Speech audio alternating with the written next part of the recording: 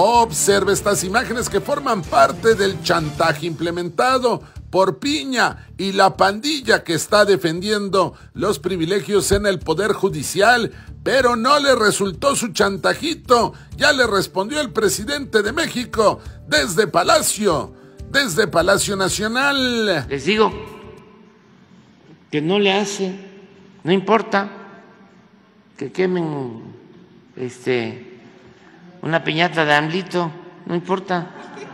Este no me importa nada porque este está como cuando insultan, pero fíjense la quema de una piñata o un insulto y aquí ahorraríamos para darle becas a los más pobres de México, a los niños más pobres, ¿saben?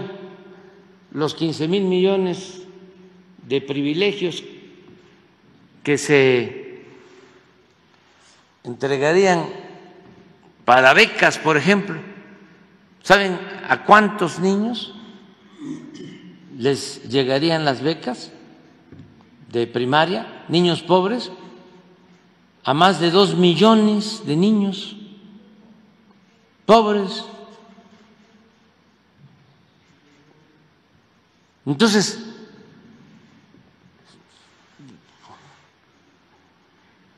que insulten y que hagan lo que consideren, son libres, pero que no se dejen manipular los trabajadores, a ellos no se les va a afectar en nada, absolutamente. Y claro que pues los líderes ya sabemos, ¿no? Líderes charros, también viven colmados de atenciones, de privilegios.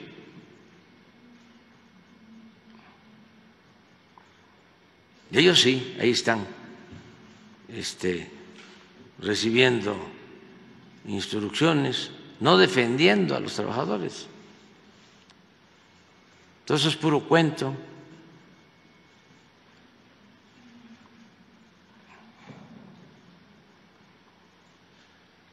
Pero bueno, somos libres, ¿eh? Y qué bueno que se manifiesten.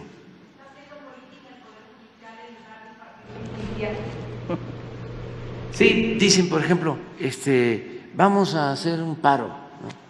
O sea, pues si se van de vacaciones, no sé cuánto tiempo, ¿sí? si, si no trabajan, o sea, este, se tardan. Bueno, hay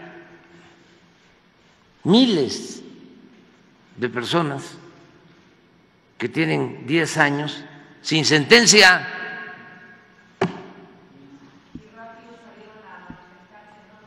Sí, este,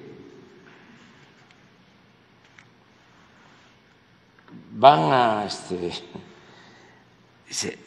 a hacer huelga de brazos caídos, pues si siempre están.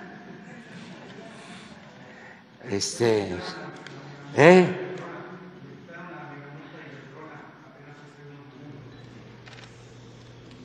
Sí, pues es lo mismo, o sea, pero ya sabemos, ya, ya, este, ya sabemos, no hay nada que haya hecho el Poder Judicial en 36 años de política neoliberal, bueno, hasta la fecha, nada en 40 años en beneficio del pueblo. No es posible. ¿Cómo es Poder Judicial, Tribunal Superior de Justicia de la Nación? Y todo lo que han hecho ha sido en favor de las minorías. Legalizar la corrupción, legitimar el robo.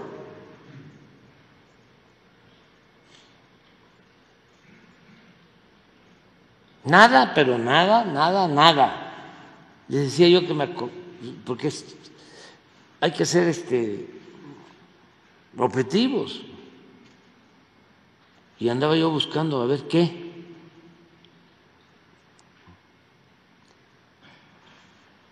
La actuación de dos ministros cuando lo de Agua Blanca. Este, que hicieron una investigación y se demostró que se habían violado derechos humanos y eso llevó a que saliera el gobernador Figueroa de, perdón, de Guerrero, de, Guerrero. ¿Qué otra cosa? ¿Me pueden decir que la libertad de la señora que eh, de Francia? Sí, pero eso fue una presión arriba del, del gobierno, del gobierno de Francia. Puede ser eso, que ahí actuaron este, y eh, con posturas encontradas, pero a favor del pueblo raso, nada. yo recuerdo que quisimos detener la privatización del petróleo y los ministros se opusieron a que se llevara a cabo una consulta. Recuerdo que cuando privatizaron las pensiones de los trabajadores, presentamos amparos en el Poder Judicial. Ninguno prosperó.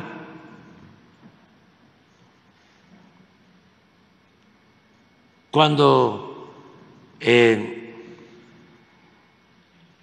decidieron quitarle prestaciones a los maestros en el gobierno de Calderón. Y así, en muchos otros casos, en la ley laboral,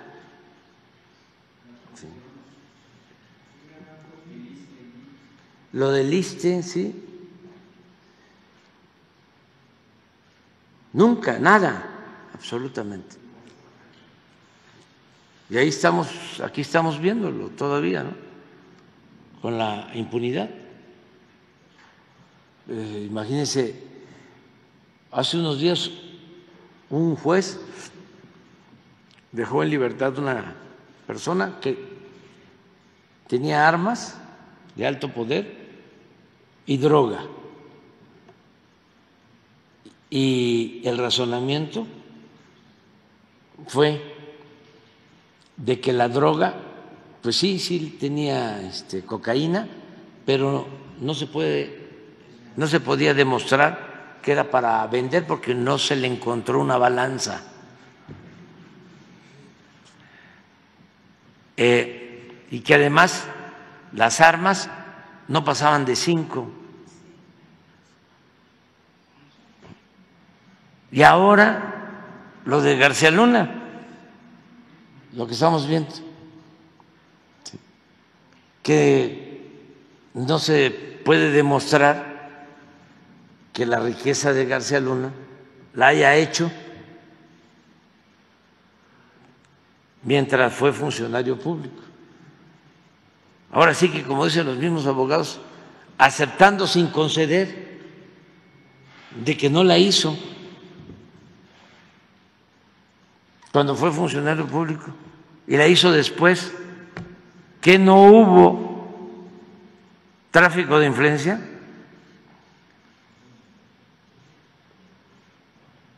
que no se valió para hacer sus negocios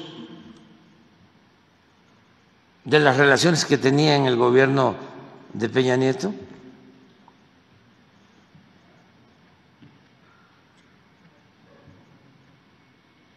Pero fíjense qué precisos los jueces, ¿no?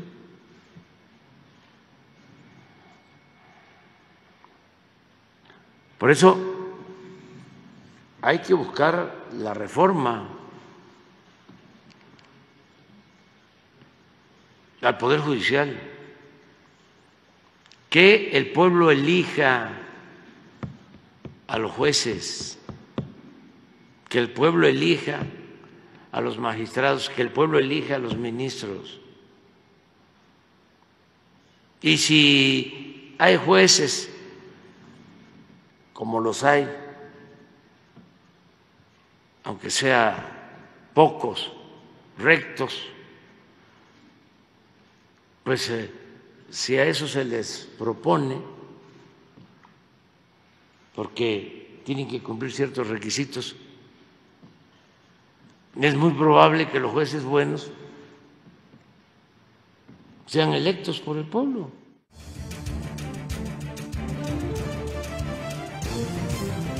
Desde el aire, en 360 grados, con transmisiones en vivo desde el lugar de los hechos, con la mayor tecnología, pero sobre todo, con objetividad e imparcialidad. Noticiero en redes. Honestamente, te informamos.